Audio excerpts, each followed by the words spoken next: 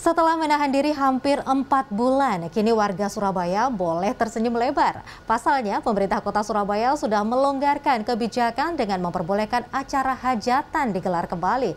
Tapi tetap harus melalui asesmen Satgas COVID-19 dan kantor kecamatan masing-masing. Mau nikah? Jangan galau. Mulai awal Oktober, pemerintah kota Surabaya sudah kembali melonggarkan kegiatan hajatan dalam skala besar. Tapi, masyarakat tetap harus mendaftarkan untuk dilakukan asesmen oleh Satgas COVID-19 dan masing-masing petugas kantor kecamatan. Hal ini menjadi salah satu syarat wajib jika ingin hajatan tidak terkena razia dan dibubarkan. Asesmen ini merupakan bagian dari prosedur untuk mengarahkan proses hajatan sesuai dengan protokol COVID-19 agar lebih aman dan nyaman. Ada misalnya sampai ganti nanti ya.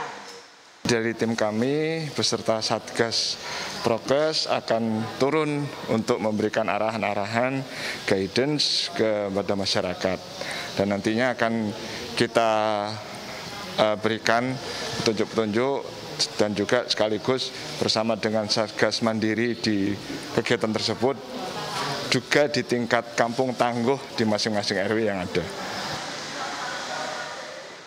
Selain petugas kecamatan, pihak kepolisian di tingkat kecamatan juga akan melakukan penjajakan untuk melihat peluang diaplikasikannya kode QR Code Peduli Lindungi, sehingga saat proses check-in dapat dipantau apakah semua tamu undangan dan pelaksana hajatan sudah menjalani vaksinasi tentunya kita berbicara berkaitan dengan head uh, immunity kan. Herd immunity tentunya cukup penting dan itu wajib hukumnya ketika dalam suatu kegiatan dan yang lain-lain berkaitan dengan berkumpulnya massa atau orang itu dipastikan sudah melaksanakan vaksin. Dan kita sudah memperkuat ketika orang itu belum vaksin. Kita di eh, Surabaya uh, khususnya di Kecamatan Galsari ini sudah ada yang namanya vaksin hunter ada yang namanya swab hunter yang kira-kira di PKM atau di puskes puskesmas itu siap.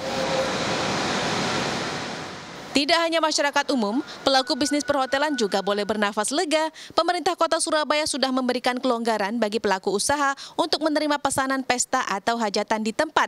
Tapi pelaku bisnis juga wajib mendaftar dan menjalani asesmen dari Satgas COVID-19.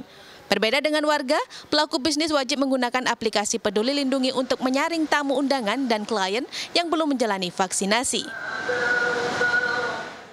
Kita bersyukur sekali sudah Surabaya ini masuk ke level 1. Namun untuk protokol kesehatan kami tidak akan mentoleransi atau tetap harus dilaksanakan. Ya, asesmennya dalam arti melalui uh, aplikasi peduli lindungi yang sudah dikeluarkan oleh pemerintah itu yang kita berlakukan. Kamis pagi, 154 kelurahan di 31 kecamatan kota Surabaya sudah masuk zona hijau. Sejak pelonggaran, sudah ada 9 warga dan perhotelan yang mendaftar untuk melaksanakan hajatan di Kecamatan Tegal Sari. Diperkirakan jumlah ini akan bertambah pada November mendatang. Eka Rima, Agadipa, Surabaya, Jawa Timur.